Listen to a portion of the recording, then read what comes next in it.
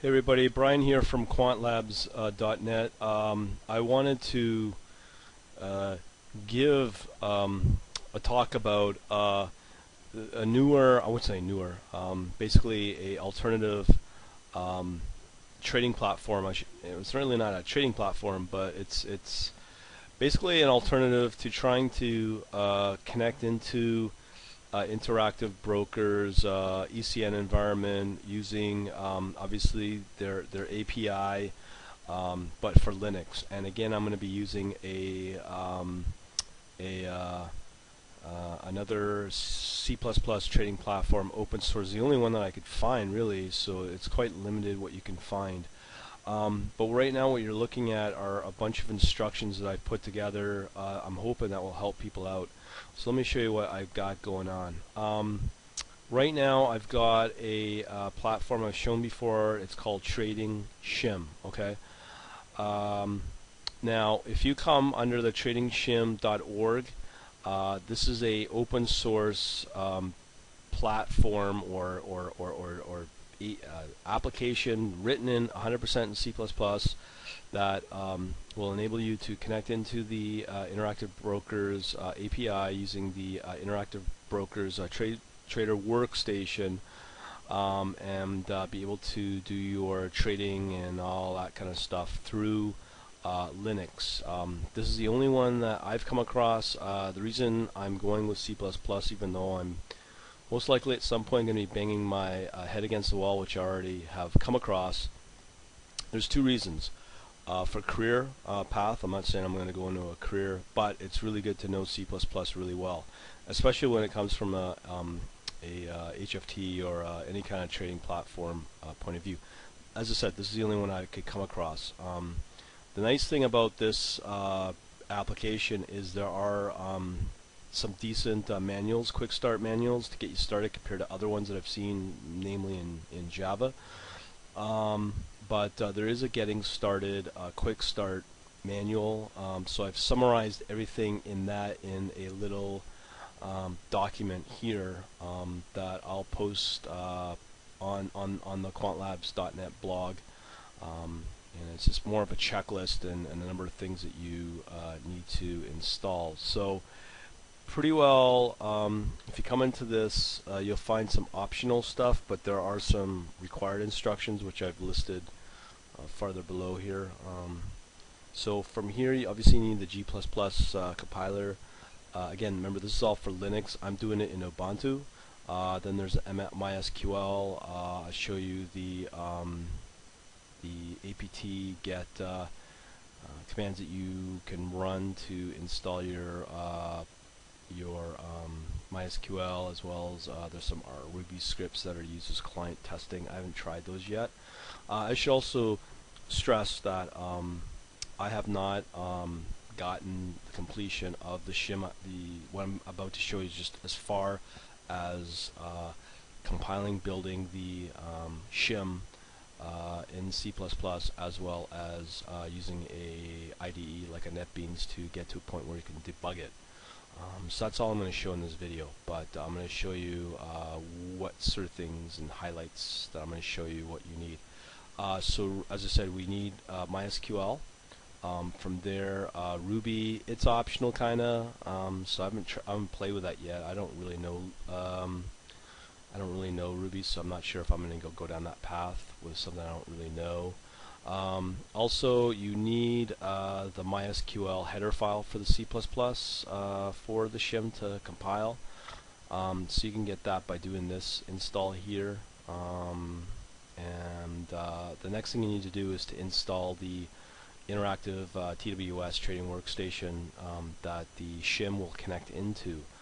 So you can um, get all the info here, but there there are in this URL set of instructions to get you uh, to get your TWS running and installed. So you follow that. Uh, just make sure you, you get them the TWS from this link here. It does run, um, and I can actually show you that uh, in my Ubuntu, which is the 12.04. Um, you can see that uh, I do have uh, the TWS um, running right here, uh, and there's some configuration changes as well that you need to uh, do. Um, so let me show you that. All right, so essentially um, you follow these instructions. They work just just fine. Uh, you run your TWS here. Uh, it's just basically the TWS is a bunch of jar files. Um, and then uh, you can uh, execute your shim from here. Um, before you do that running the shim, uh, you need to load the MySQL data into your MySQL database. So there are instructions here. Uh, and when I say manual, um, you can find the manual here. Um, all this stuff. I give the uh, page reference here, like 40 or whatever it is, um, right here. Uh, so you can get the manual. That's the link for the manual. Um, and uh, basically, you're going to run into some weird things uh, to create the database. Uh, I'm not sure if this manual is fully up to date with the latest code version of uh, of the shim um, seems to be out of date, so you can, I don't know, try to um, get around that um, if you're really good at uh, MySQL, uh, which is a good a good exercise to learn anyways. Uh, and then what you want to do is obviously create your SQL, load up your populate the database, and uh, that should be that. So I've got everything running as far as I can take it uh, for now. Let me just show what I mean. Um, right now, let me just find my right terminal here. Uh, give me a second here.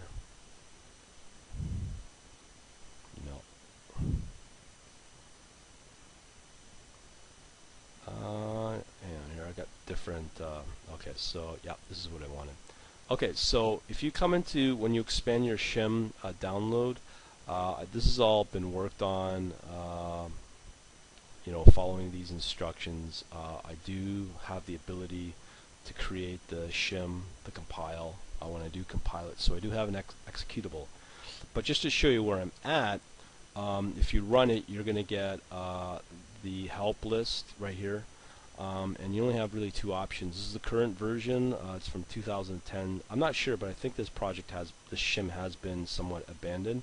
But don't let that scare you. Um, I say this, um, give me a second I'll explain that in a second. So let's say if I run the shim using this data uh, parameter, um, what will happen is it will, it looks like it's trying to make an attempt to get into uh, the shim RC, but it does does exist, um, and everything looks good there. Uh, but um, it does it does appear to connect into the database. Um, so that's the main thing, because previous I got MySQL cannot connect into the MySQL uh, database, so I'm past that. So anyways, um, this is where your C++ skills will come into play. So in my case, um, I've I would recommend using if you're, you're using Linux, um, something like an Ubuntu, I would recommend you to use uh, the NetBeans IDE. Um, there is a uh, NetBeans IDE for C++ only. It's small as well. So what you can do is once you got your um, project uh, created within your uh, NetBeans, uh, you can start debugging it, and from there I can try to figure out what's going wrong uh, here. Um, so that's what I plan to do, um, and uh, you know, let me explain a few things um, regarding uh, C++. Why not Java? Why not? Um, uh, I'm I'm doing C++ as I said for uh, it's used throughout a lot of the hedge funds and banks and all that sort of stuff. It also beefs up your skill in Linux as well, so it's it's a really good exercise to go through. Um, right now, because it only connects to uh, MySQL, at some point I would like to uh, have this running against a NoSQL database. Um, you know my feelings about done various uh, postings uh, via video and the regular blog uh, that there's probably three NoSQL databases uh, that I like: Redis, um, Cassandra, as well as MongoDB. Everything from that point on is driven by what I can connect to from uh, the world of R. Uh, so far, I think Redis and uh, MongoDB seem to be the best options. I've got videos on how to connect to both. Um, I'm not sure yet, but uh, probably going to go with Mongo for now. Um, seems to be a bit better client support from the R side than the Redis, but the Redis does seem to work okay. Um, and you can do uh, sharding for both Mongo and uh, the um, uh, Redis as well, which is important for speed and that as this guy, this shim may be able to populate a potential database within uh, one of those NoSQL solutions. But for now, I'm going to try to focus only on um, MySQL. Now the other thing is with MySQL, um, I might just stick with MySQL. Who knows? Um, because I know the client support for R is pretty good as well. I mean, it's with MySQL, it is the most popular uh, uh, database out there. Um, and um, you know, I, I don't know yet, uh, but uh, I don't want to make this too complicated, but it appears to be kind of a challenge right now. Um, so at this point, um, I'm going to stick with a plan on the C++ and get the shim, but running it through the debugger, I need to really bring my C++ skills up to uh, up to par. Um, you know, I can do everything in Java, no problem. But uh, as I said, I want to focus on C++, and the reason for that is two reasons, obviously, for career, as well as um, Java and this question of um, uh, garbage collection. When I post questions on the uh, Stack Overflow, it's just like a very um, wishy-washy, very general answers. Well, you need to optimize. Well, the question is, optimize what? Optimize how? I mean, there's so many different um, alternatives to that. So I just kind of going to play with this in the C++ to see how it goes.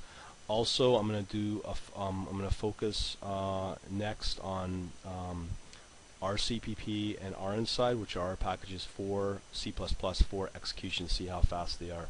That's going to be my next step to see how uh, that performs as well. So stay tuned for there. So originally, um, as you know from the Windows world, trying to connect from Visual C++ or a C Sharp uh, platform, connecting into MATLAB. Um, that was the original uh, vision, um, but I guess you could say I'm doing it now instead with C++ in Linux plus R as well. So it's a lot more lightweight, um, and I've done some postings uh, for my members about uh, some models and a framework uh, for strategy development, which seems to work really well um, as it stands right now. I've played with all last week, and I've, I've got some other uh, strategy development models coming down the pipes too. So right now, this is what I'm going to focus on and uh, see where we go from there. All right, have a good one.